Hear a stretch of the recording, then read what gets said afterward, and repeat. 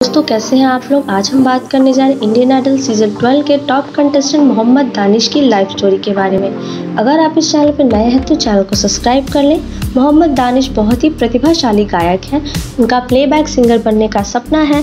इससे पहले वो वॉइस ऑफ़ इंडिया में कंटेस्टेंट रह चुके हैं। मोहम्मद दानिश को बचपन से संगीत का शौक था, इसीलिए उन्होंने गाना सीखने के लिए क्लास ज्वाइन कर ली थी। इस इंडियन आइडल के ग्रैंड फिनाले के दावेदारी में टॉप थ्री पर मोहम्मद दानिश चल रहे हैं। आइए जानते हैं इनके जीवन की पूरी कहानी और इनके लाइफ तो आप इस वीडियो को एंड तक देखना। अगर आप इनके फ़ैन हैं तो इस वीडियो को लाइक करके कमेंट कर दें। I am fan of Mohammad Danish. दोस्तों, इनका रियल नेम मोहम्मद दानिश है। निक नेम दानिश है। प्रोफेशन वो एक सिंगर हैं। मोहम्मद दानिश का जन्म 15 अक्टूबर उन्नीस सौ छियानवे को मुजफ्फरनगर, उत्तर प्रदेश में हुआ था। अपनी शुरुआती पढ़ाई मुजफ्फरनगर के ही डीएवी स्कूल से पूरी की और इंदिरा कला संगीत विश्वविद्यालय छत्तीसगढ़ से स्नातक की पढ़ाई पूरी की। जैसा कि आपको बता दें कि मोहम्मद दानिश की फैमिली बैकग्राउंड पहले से ही संगीत की दुनिया से जुड़ा हुआ है, इसीलिए इनको भी बहुत कम समय में ही संगीत सीखने का जोश जाग उठा और पिछले 10 सालों में लगातार अपने संगीत को और बेहतरीन बनाने की कोशिश करते रहे और कई सारे रियलिटी शो में हिस्सा ले चुके हैं। अब बात करते हैं इनके फ़िज़िकल स्टेटस के बारे में। इनकी लंबाई पाँच फुट सात इंच है, वज़न पैंसठ किलो है बॉडी मेज़रमेंट चालीस, चौंतीस, चौदह है।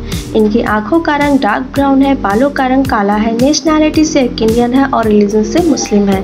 इनके फेवरेट एक्टर शाहरुख खान और सलमान खान है। फेवरेट सिंगर विशाल ददलानी है। Favourite food north Indian food favourite sports cricket है। हॉबीज एक्टिंग डांसिंग ट्रैवलिंग है। अब बात करते हैं इनके फैमिली के बारे में। मोहम्मद दानिश के पिता का नाम डॉक्टर शहनवाज अली, माता का नाम मुशरत जहाँ है। अब बात करते हैं इनके करियर के बारे में। मोहम्मद दानिश अपने करियर की शुरुआत 2015 में द वॉइस ऑफ़ पंजाब से किया। और अपने ज़बरदस्त गायकी के दम पर इस शो में फाइनल तक भी पहुँचे। मोहम्मद दानिश इंडियन आइडल के हिस्सा लेने से पहले 2017 में Indian reality show the voice of India season two में भाग ले चुके हैं। इस शो में अपने दमदार प्रदर्शन से सबके चहेते सिंगर बन गए थे। इस सीज़न के यमहा मोस्ट स्टाइलिश सिंगर का अवार्ड भी जीत चुके हैं। अपने स्नातक की पढ़ाई पूरी करने के बाद उस्ताद इरशाद के देख में मोहम्मद दानिश का पहला गाना वी इंडियंस टी सीरीज़ पर रिलीज़ हुआ था। आपको बता दें कि ये गाना देशभक्ति धुन पर गाया हुआ गाना था। मोहम्मद दानिश का एक म्यूजिकल एल्बम बना चुके हैं, जिसका नाम मेरी जान है। उनके इस एल्बम को पवन चावला और मिक्का सिंह जैसे दिग्गजों ने प्रोड्यूस किया था। लेकिन मोहम्मद दानिश के सिंगिंग करियर में असली उछाल तब आया, उनका सिलेक्शन इंडियन आइडल के बारहवें सीज़न में हो गया था। इसके बाद उन्होंने अपनी सुरीली आवाज़, शानदार परफॉर्मेंस से लोगों को इस कदर लुभाया कि वे सबके दीवाने हो गए। आज दानिश इंडियन आइडल के टॉप कंटेस्टेंट में अपनी जगह बना चुके हैं। एक से बढ़कर एक परफॉर्मेंस देने पे इस शो के विजेता के दावेदारी बहुत ही मजबूती से पेश किया है।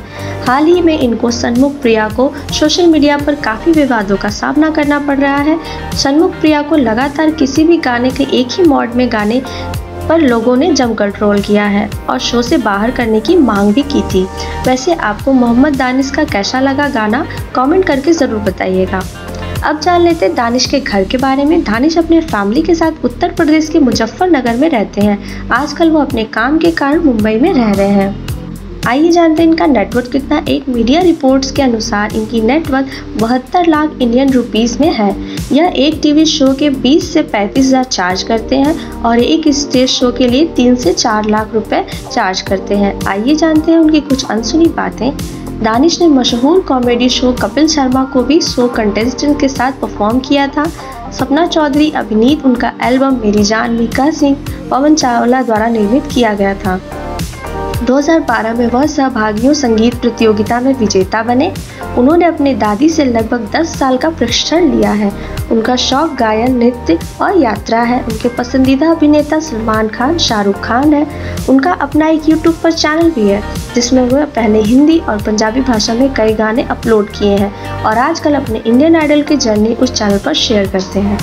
हम मोहम्मद दानिश की जीत के लिए विश करते हैं। अब देखते हैं इस बार इंडियन आइडल के विजेता कौन बनने जा रहा है। इसके लिए हमें इंडियन आइडल के ग्रैंड फिनाले का वेट करना पड़ेगा। तो यह थी मोहम्मद दानिश की लाइफस्टाइल वीडियो अगर आप मोहम्मद दानिश के फ़ैन हैं तो इस वीडियो को लाइक करके कमेंट बॉक्स में ज़रूर बताइए कि आप अगली वीडियो में किसकी लाइफस्टाइल के बारे में जानना चाहते हैं। अगर आप चैनल पर नए हैं तो चैनल को सब्सक्राइब करके बेलाइकन को प्रेस कर दें।